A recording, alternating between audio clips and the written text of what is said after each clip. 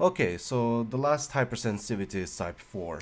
The major difference between this and the others are that it's not antibody mediated but cell mediated, so it's mainly cell cellular involvement. And duration is also a bit different. This one usually takes 2 to 3 days. There are two major types, the delayed type and the T cell mediated direct cytotoxicity.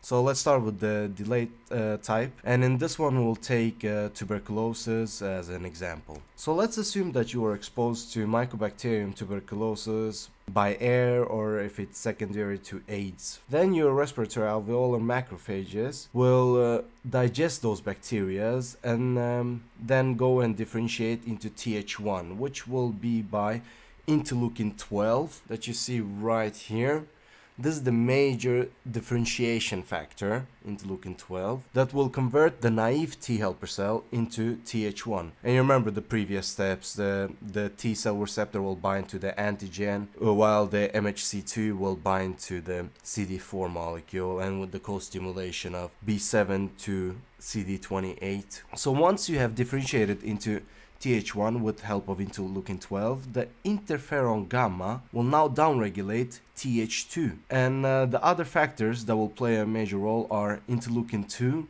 and tumor necrotic factor. Interleukin 2 is necessary for colonial expansion, meaning that there will be an autocrine reaction in which the T helper cells will proliferate and make multiple copies of themselves for preparation of a second exposure or eliminating all the other uh, tuberculosis uh, affected cells. The interferon gamma we'll talk about later, but to, so after uh, this help of interleukin 2, you will have now multiple uh, copies of these uh, Th1 cells that will go and circulate throughout your uh, lymphatic system and your circular system and be prepared no matter where the exposure second exposure will be at.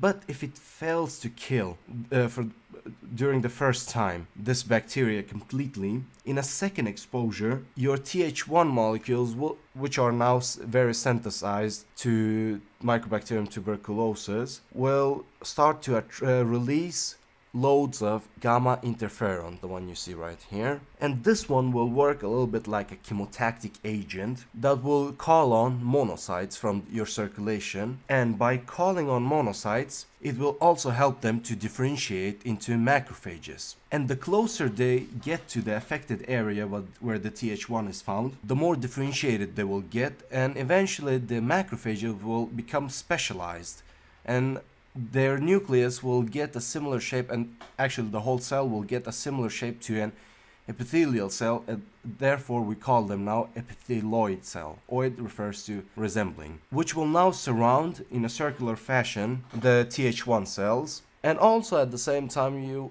the tumor necrotic factor will induce uh, further inflammation and as well the T cells will gather now around this area. So like you see right here. By this surrounding with the centralized Th1 synthesized cell surrounded by epithelioid cells and T cells, you will form something called a granuloma. Sometimes the epithelioid cells can gather together to form a multinuclear uh, structure called multinucleated giant cells of Langerhans. The location of uh, the granuloma can be different and we tend to give them different uh, terminologies depending where they are in relation to the lungs. For instance, we have something called a Ghon's focus. A Ghon's focus is when you have the when uh, the granuloma is in the interlobar fissure in the upper uh, essentially in the upper part of a lower lobe and vice versa. But if it managed to get uh, close to your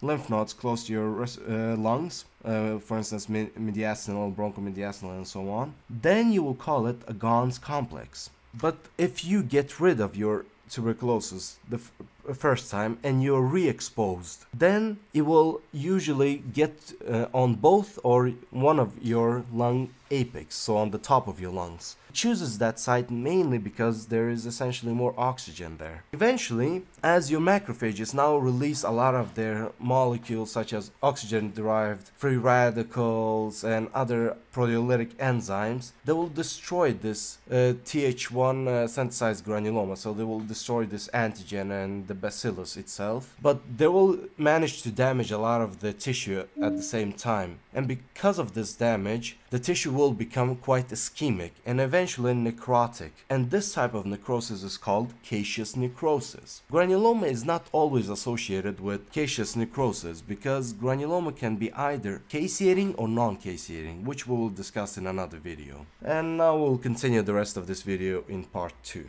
Thank you.